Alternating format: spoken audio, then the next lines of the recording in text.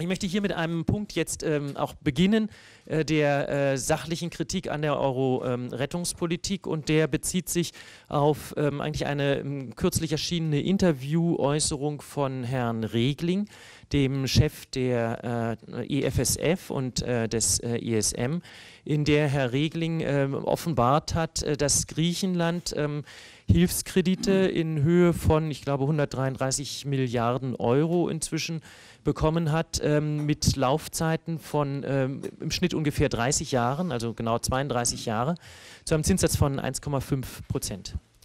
1,5 ähm, Prozent ist ein Zinssatz, der bei derartigen Laufzeiten nicht äh, in selber Art und Weise am Kapitalmarkt refinanziert werden kann.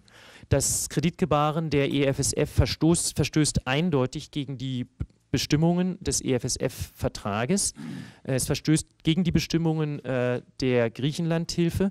Es verstößt im Übrigen auch gegen die Rechtsprechung des äh, Europäischen Gerichtshofs, der im äh, ähm, Urteil Pringle versus äh, Island ausdrücklich festgehalten hat, dass eine Marge zu erzielen ist durch ähm, den äh, ESM. Ähm, das gilt aber analog dann auch für die EFSF.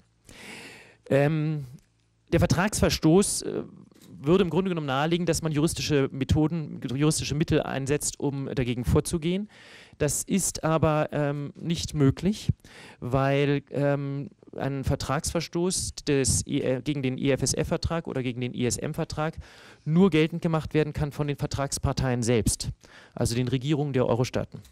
Kein Bürger in Deutschland, keine Institution, keine Fraktion im Europäischen Parlament, auch das Europäische Parlament selbst ist klageberechtigt bei Verstößen gegen den ESM-Vertrag oder gegen den EFSF-Vertrag, weil das ein intergouvernementaler Vertrag ist. Die einzige Möglichkeit, ähm, diesen Sachverhalt aufzugreifen und anzugreifen, ist ähm, die, das politische Umfeld, die politische Aktivität und das tun wir jetzt als äh, Partei, indem ich Sie informiere über dieses Schreiben, was ich an Herrn Schäuble gerichtet habe und äh, indem ich ausführlich dargelegt habe, ähm, welche Sachverhalte dort gegeben sind und warum dies Vertragsverstöße sind, die eindeutig gegen die Interessen der deutschen Bürger, insbesondere in ihrer Funktion als Steuerzahler, gerichtet sind. Es gibt einen ganz aktuellen Aufruf des, der Städte, der Gemeinden und der Kreise in Deutschland die im Zusammenhang mit der Europawahl sich an die EU und die Europolitiker gewandt haben, endlich mit der Überregulierung aufzuhören und das Prinzip der Subsidiarität, was ja im Lissabon-Vertrag festgeschrieben ist, ernst zu nehmen.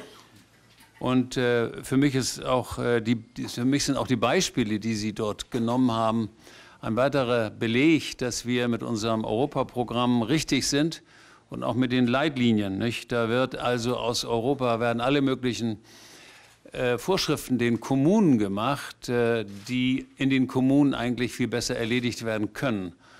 Und äh, für uns ist ja der Begriff Subsidiarität nicht nur ein, eine Aufforderung, äh, gewisse Verantwortlichkeiten wieder in die Nationen zurückzulegen oder in die Länder oder in die Staaten, sondern auch in die Bundesländer und natürlich auch in die Kommunen. Und äh, nach Lektüre dieses Aufrufs komme ich zum Schluss, dass diese Kommunen, die Städte und Gemeinden eigentlich nur eine einzige Partei in Deutschland haben, die ihr Anliegen ernst nimmt. Und das ist die Alternative für Deutschland. Wenn Sie unser Europaprogramm lesen, dann können Sie sich davon überzeugen.